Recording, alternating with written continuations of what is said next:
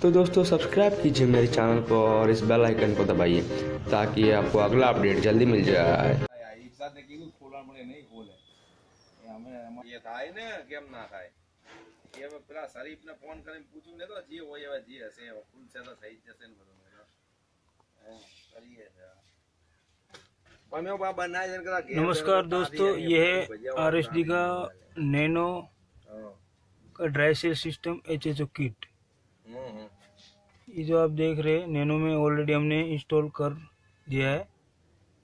और ये blue pipe output inlet by air cleaner and map sensor controller जो यहाँ ऑटो सेंसर इनेसर अटैच किया जाता है। जो इससे माइलेज यानी कि फ्यूल को कंट्रोल करता है, अब हम बात करते हैं सेल की और अदर प्रोडक्ट की। फ़र्स्ट हमारा ये आएगा पी डब्ल्यू एम जो ऑटोमेटिकली है इग्निशन ऑन करने पर ये तीन सेकंड ऑन होगा। उसके बाद जब व्हीकल ऑन होगा मतलब इंजन स्टार्ट होगा, तब भी जाके प्रोडक्ट ऑन होगी। अब हम देखते हैं सर जी, ये आप इग्निशन ऑन करें। ये आप देख रहे हैं तीन सेकंड ऑन होगा। नो ये ऑन करा।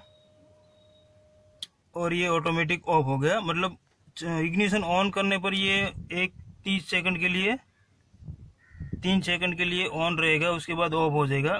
जब इंजन स्टार्ट होगा तब ये प्रोडक्ट ऑटोमेटिक स्टार्ट होगी। अब आप कार को स्टार्ट करें प्लीज़ आप देख रहे हैं यहाँ पर ये प्रोडक्ट ऑन हो चुकी है। एंड प्रोडक्शन भी काफ़ी बढ़िया मिल रहा है।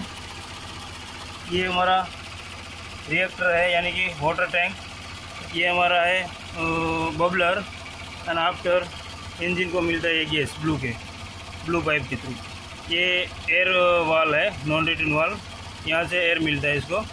और इसके अंदर, जो आप देख रहे हैं, इसके अंदर ये है चेक वाल नॉन रिटर्न ब्लास्टिंग रोकने के लिए सेफ्टी बेल्ट है।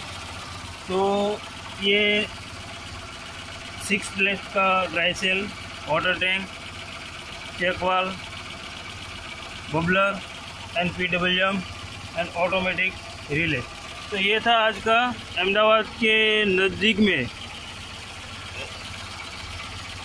कौन सा सिटी है सर ये धोलका सिटी का एक नैनो कार है। वहाँ पर हम आज इंस्टॉलेशन ये प्रोडक्ट किया हूँ। तो इस वीडियो को लाइक कीजिए सब्सक्राइब कीजिए। Thank you thank you so much तो दोस्तों सब्सक्राइब कीजिए मेरे चैनल को और इस बेल आइकन को दबाइए ताकि आपको अगला अपडेट जल्दी मिल जाए।